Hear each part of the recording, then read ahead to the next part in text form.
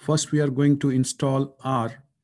And to install R, we can open command line using Control Alt T. So we can type sudo apt get update. So enter your password. Once update is completed, we can install R using sudo apt dash get install r dash base.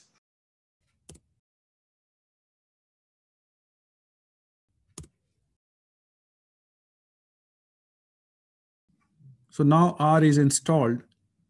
You can check installed packages using sudo apt list dash dash installed.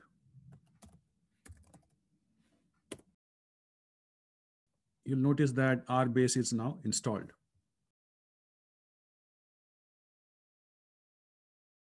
We can also see R in the applications. Install RStudio. So we need to download RStudio first.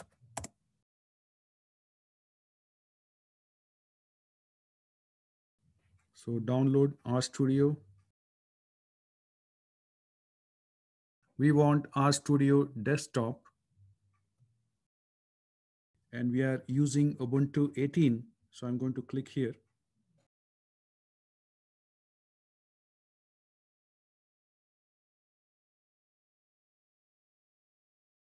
Click install, password,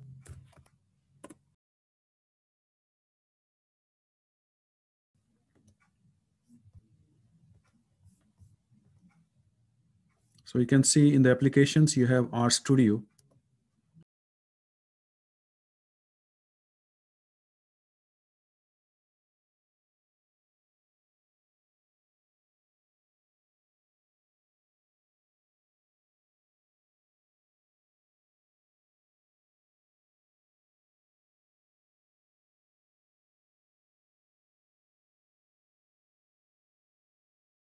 So now we can do usual things with R.